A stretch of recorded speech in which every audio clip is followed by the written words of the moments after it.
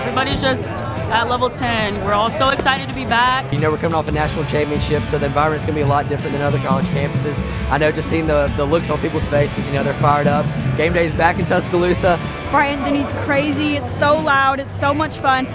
Welcome again to Bryant-Denny Stadium. And looking around everywhere, we see thousands of fans kind of fanning themselves. Bama gets the football to start. There'll be nothing better than putting a quick seven up on the board. Tua, who quickly unloads, and Jeudy's got it. He breaks in the secondary. He's gone. Touchdown, Alabama. 58 yards. All of a minute and 41 seconds into the ball game. Jalen throws a BB. Touchdown, Alabama. And Alabama will win this game by a final of 57 to 7.